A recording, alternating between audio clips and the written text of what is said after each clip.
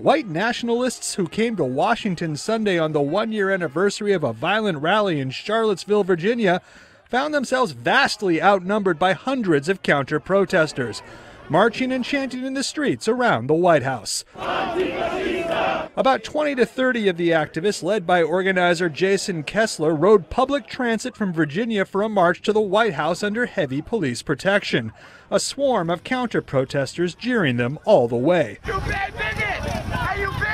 They're completely indoctrinated. Kessler and his small band of followers held their rally behind a police cordon in Lafayette Park across from the White House, surrounded by a sea of opposition. Sunday's events coming in sharp contrast to the chaotic rally Kessler organized last year in Charlottesville that resulted in the death of counter protester Heather Heyer.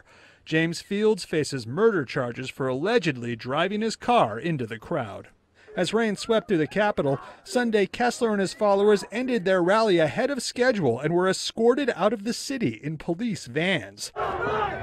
Counter protesters continued to fill the streets around the White House into the evening, sometimes confronting each other and the police, but for the most part remaining peaceful.